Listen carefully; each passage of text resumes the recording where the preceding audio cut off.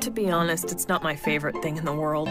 I think. When was the last time that I bought some milk? Well, if that's what you want, I do have a friend who runs a nice little sushi shop nearby, so I can just give him a call. Um, sure, no problem. What is it? I think you'll find out I can do plenty, sir. Just you wait and see. You're welcome. Best of luck, Sugi. It's a running list of all the chinks in Koro Sensei's armor. That's the example you use with junior high kids? Not at the moment. The learning curve is steep. They're actually not all that bad. Where to? And you are... who? I'd appreciate it if you didn't torment my friend. That is ancient sorcery, and quite powerful too. Do you like it? So, we've got a lot of work to do. We're moving. Moving's done. You can get down now. Excuse me. Need some help? There are no monsters in Moomin Valley. The only thing you really need to fear is fear itself.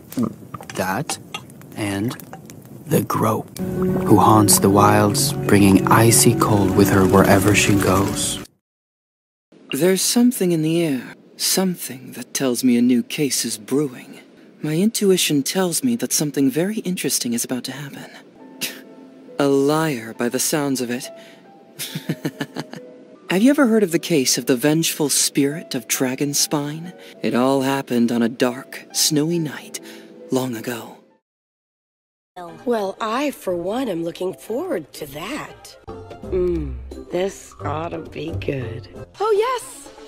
The new girl. Oh, don't get me wrong, Sunshine. Being a tinker is really swell and all, but I wouldn't go around bragging about your talent. You don't say. Hmm, the truth hurts, doesn't it? Don't say it! Tinkerbell, take these things back right now! You do? I'm surprised that a human being is capable of understanding how I feel. It's a shame. There's a geo-weapon incubating in your planet that will destroy everything shortly. But you don't deserve that, do you? You know, I really shouldn't be here. I'm glad I came back one last time. I can save one last piece of her legacy.